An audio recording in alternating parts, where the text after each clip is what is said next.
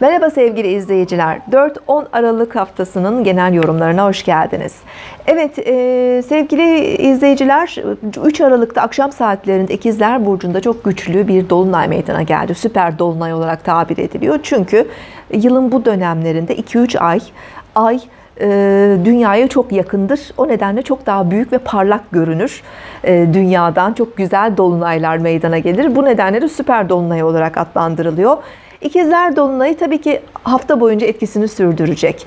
Ee, ikizler özellikle günlük hayatımızda haber trafiğin arttığı bir süreci işaret ediyor. İletişimle ilgili her türlü konu gündemde.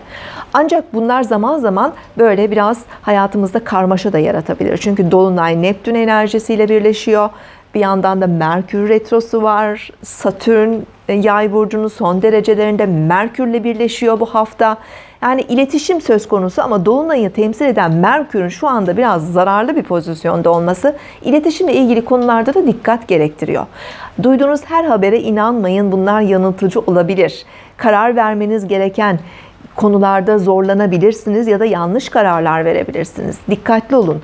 Ulaşım da tabii ki söz konusu. Yani trafikte, e, günlük hayatımızda, karayollarında, hava yollarında, deniz yollarında bu dönemde ertele, ertelemeler olabilir, rötarlar olabilir, kazalar, özellikle dalgınlık ve uykusuzluk nedeniyle meydana gelebilecek kazalara çok rastlayabiliriz.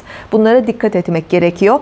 Evet e, haftanın genel enerjilerine baktığımızda Dolunay dışında Yay burcunda birleşen Merkür ve Satürn biraz da zihnimizi yavaşlatacak gibi ya da daha fazla geçmişe dönük olacağız.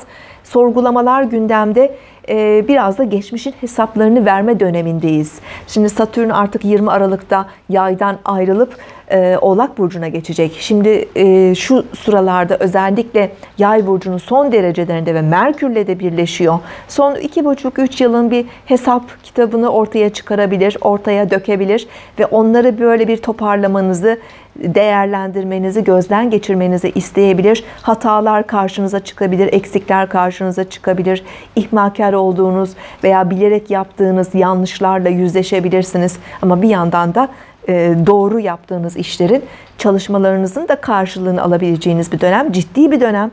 Merkür aynı zamanda yazışmaları, sözleşmeleri temsil eder, imza atı, imzaları temsil eder. Her türlü yazılı evrak, belge Merkürle alakalıdır. Bunlar karşımıza çıkabilir bu süreç içerisinde.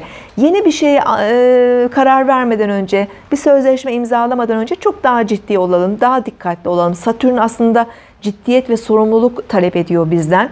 Eğer geçmişte ciddiyetsiz ve sorumsuz davrandığımız konular varsa işte bunların belki de yasal sonuçlarıyla da bu süreçte maddi manevi karşılaşabiliriz. Buna da e, dikkat etmek gerekiyor. Evet, e, ciddi konuları düşünmek, çalışmak için eğitim, öğrenim gibi konularda, akademik konularda, hukuksal konularda, her türlü konuda e, çalışmak için, düzenlemeler yapmak için, değerlendirmeler yapmak için bu haftayı değerlendirebiliriz ve iyi sonuçlar da alabiliriz. Hafta sonundan itibaren 9 Aralık'ta ise enerji gezegenimiz Mars Akrep Burcu'na geçecek ve 26 Ocak kadar Mars Akrep Burcu'nda kalacak.